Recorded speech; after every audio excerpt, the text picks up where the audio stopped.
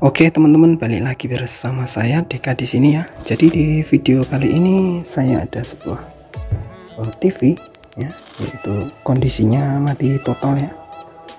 Dan untuk mereknya LED TV ya. Jadi ini mereknya apa ya? Hmm, tulisannya device graphical graphical apa itu? Teknologi graphical teknologi guys. Dengan kondisi mati total ya. Dan untuk tipenya ini kayaknya masih baru ya TV nya cuman sudah uh, mati ya teman-teman. Itu segelnya masih masih utuh ya. Jadi belum pernah di um, bongkar dari pabriknya ya. Untuk tipenya ini. Oh enggak ada tipenya teman-teman. Hmm, jadi modelnya itu enggak ada modelnya ya. Jadi seperti inilah kok TV nya dan ini made in Indonesia ya. Oke mari kita coba. Apakah dia benar-benar mati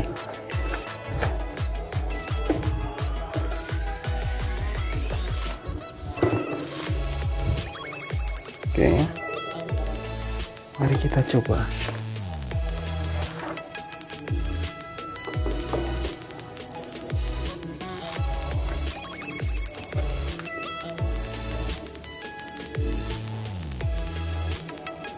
Oke, teman-teman jadi TV-nya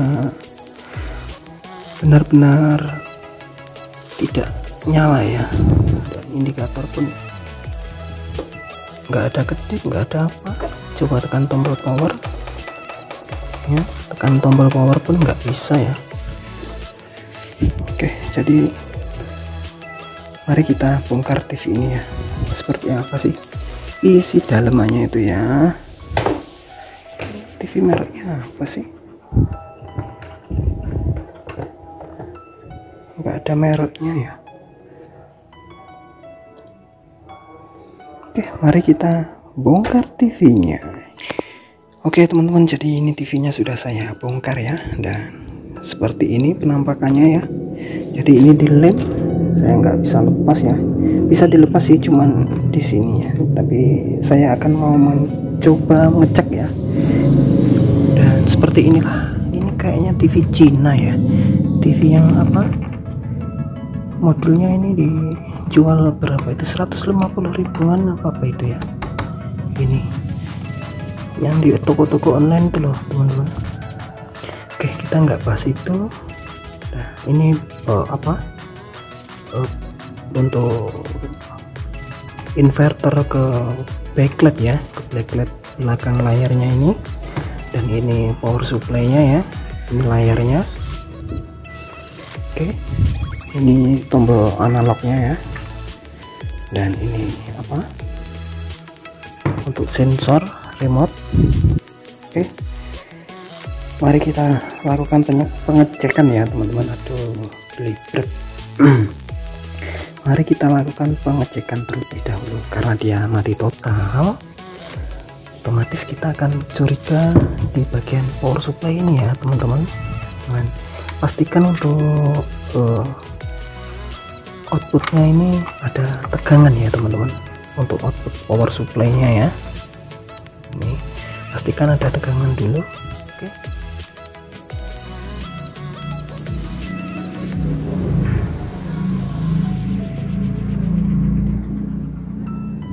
Oke teman-teman ternyata ada tegangan ya sebesar 16 volt ya. Ini 16 apa apa ya? Coba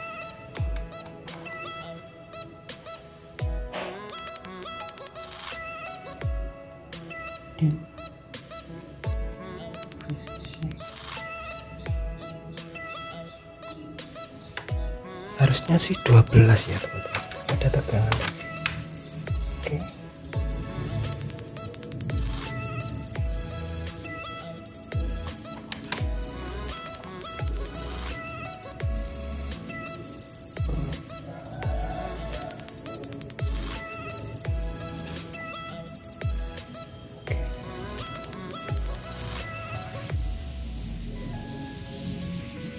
untuk groundnya terukur 6 volt eh untuk uh, eh, 12 volt terukur 6 volt ya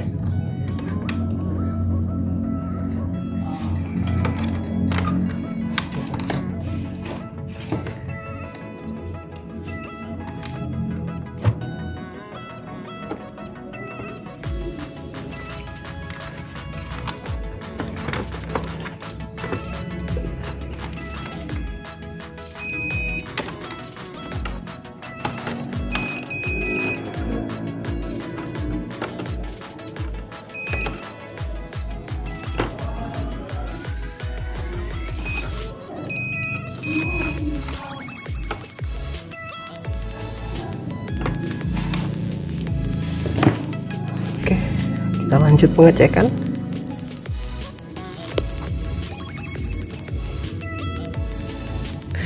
Untuk kabel yang di bagian positif ya yang jalur 12 volt ini kayaknya ada yang korosi ya teman-teman.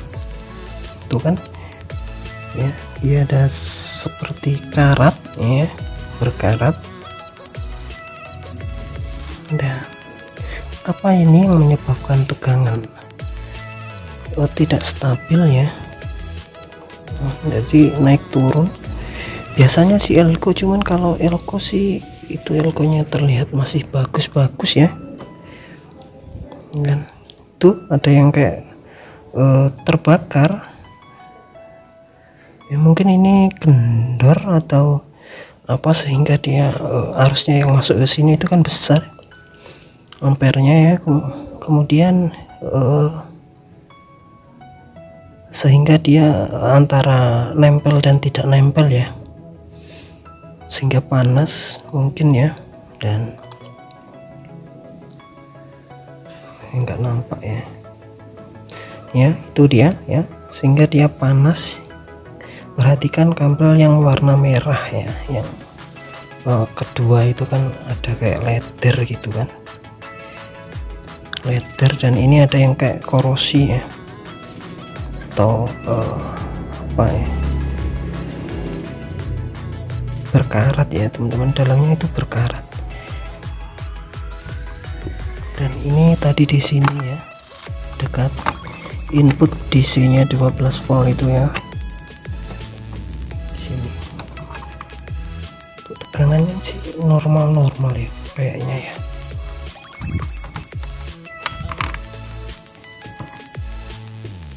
ini saya cek tadi juga nggak ada masalah. Ininya. Dan saya mencurigai hanya ini saja sih. Ya berkarat ya. Dan itu ada hitam-hitamnya